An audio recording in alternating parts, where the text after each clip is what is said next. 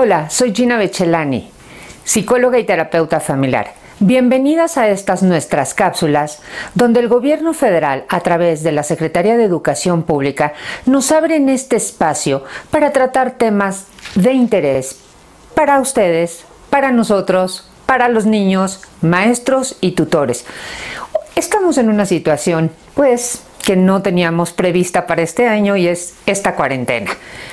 Vamos a tomar hoy un tema muy interesante que tiene que ver con los niños. No todos los niños son iguales, no todas las niñas son iguales. Hay niños que son más extrovertidos y niños más introvertidos. ¿Cuántas veces hemos escuchado? Ay, ese niño se la pasa jugando solo. Ay, esa niña no juega con nadie, juega solo con sus muñecas. Bueno, ¿qué creen? Hay niños que son así. Son niños más introvertidos, niños a los que les gusta estar pausados, reflexionando, que se ponen a jugar con sus cosas y se pueden entretener por grandes lapsos de tiempo, es decir, por muchísimas horas. Esto no quiere decir y es muy importante subrayar que sean niños que tengan conductas antisociales. Simplemente su personalidad es un poco más introvertida, más reservada. Por el contrario, hay otros niños, y es el contraste, que son muy extrovertidos y pedirles que se pongan y se entretengan solos durante cinco minutos, bueno, es una locura, no hay manera de hacerlo sentar y estar, siempre quieren estar con un adulto, con un niño, quieren estar acompañados, jugando, entreteniendo. Así es, también esos niños pues son de otra manera, tienen otras características de personalidad. Lo importante y es de verdad muy importante poner atención en esto, en varias cosas. La primera, hay que ver que esta sea la personalidad del niño, que haya sido igual y que no sea un antes y un después de esta cuarentena. ¿Qué quiero decir con esto? Checar si este niño no está o esta niña no está deprimido o deprimida. Si ha sido así siempre y él, se, él o ella se entretienen solitos, está bien. Por otro lado, también es importante ver si están solos o solas porque les gusta y porque esa es su personalidad o porque no hay quien los acompañe. Y no me refiero, yo lo digo, soy madre de un hijo único y mi hijo pues se aprendió de alguna manera a entretener solo. A veces sí nos pedía, oigan, aquí estoy, etcétera.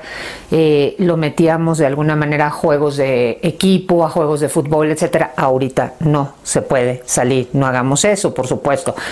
Pero eh, no es solamente la situación de un niño que es hijo o único o una hija única. Hay muchos niños que tienen varios hermanos y no quieren estar con ellos, les gusta estar en su espacio, estar con sus muñecas o estar con sus juguetes y ellos están así.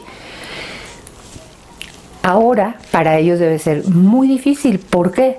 Porque con esta situación, con este aislamiento, estamos casi toda la familia a menos de que los padres, los tutores, los cuidadores o las madres tengan que salir a trabajar, ya sea porque son enfermeras, doctores, policías, gente del servicio de limpieza o tienen que salir incluso al campo, porque siempre hablamos de la ciudad, pero también en el campo sucede. Y los niños y las niñas se queden solos. Eso es distinto a que sea un niño que está solo porque nadie le hace caso, porque no hay quien lo cuide. Pero eso de no hay quien lo cuide hay que tomarlo con mucha precaución, porque independientemente siempre habrá algún adulto cerca de nosotros. Hay que estar viendo que estos niños no tengan en estos momentos o estas niñas no presenten depresión. ¿Qué podemos hacer con ellos? Muy importante, aprender a respetar el espacio en este momento y en esta situación nos han pedido que respetemos mucho el espacio físico. Yo también quisiera que empecemos a respetar también el espacio emocional y físico de estos niños o estas niñas a los que les gusta estar solos, que se entretienen estando solos. No es que sean niños diferentes o anormales, simplemente tienen una característica y lo subrayo de personalidad distinta. Todos somos diferentes, somos únicos e irrepetibles. Probablemente por la situación de que está más cerca toda la familia, puede ser que estén los hermanos, hay familias extensas que viven todos en una misma casa, tratar de respetar este espacio físico, darles la posibilidad de que se alejen y cuando ellos quieran volverlos a integrar. Otra de las cosas que podemos hacer con ellos también es integrarlos en actividades de equipo. Pero por favor, no hay que estarles diciendo todo el día, ven, vamos a jugar, ven para acá, mi amor, vente, no, es que sí, es que estás solo, solo, o estás sola todo el tiempo. Demos y respetemos su propia identidad.